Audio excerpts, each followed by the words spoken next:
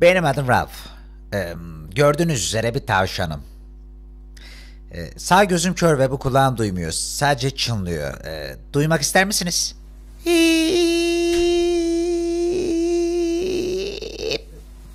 Evet bu sinir bozucu değil mi? Evet.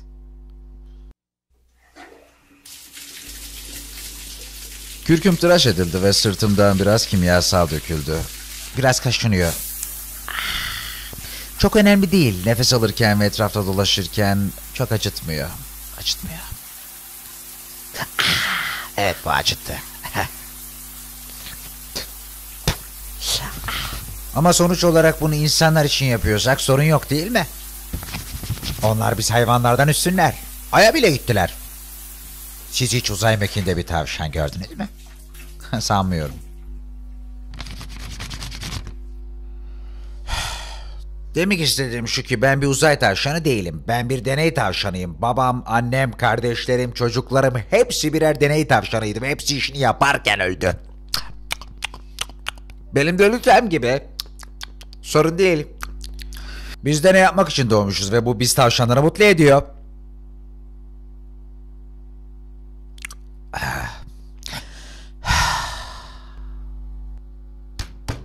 Ah.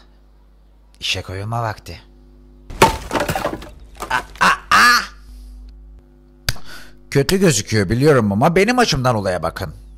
İşimi yapıyorum.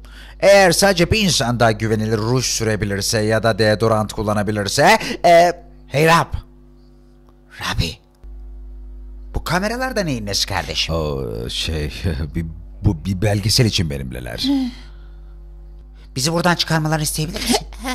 Hadi Ralph sadece bizi buradan çıkarmalarını isteyeceksin. Ölmek istemiyorum istemiyorum adamım. adamım. Ölmek istemiyorum adamım. adamım. Lütfen adamım lütfen Bunları adamım. silebilirsiniz değil mi? Ah, işte başlıyoruz. İşte ah, ah, Ah, siktir!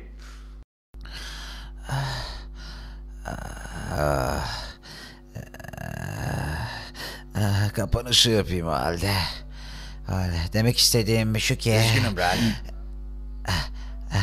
Biz buradayız. Erken döner misin? Aa, özür dilerim. Sorun Özür değil. dilerim. Böyle nasıl? Böyle iyi. Devam et dostum. Devam et. Pekala evet.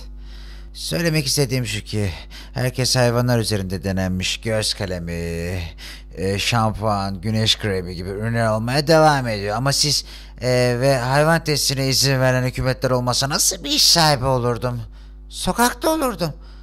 E, sokakta değil bilirsiniz. Normal bir tavşan gibi tarlada olurdum. Ama ah ah, ah, ah, ah, bu çok iyi. Çok çok iyi.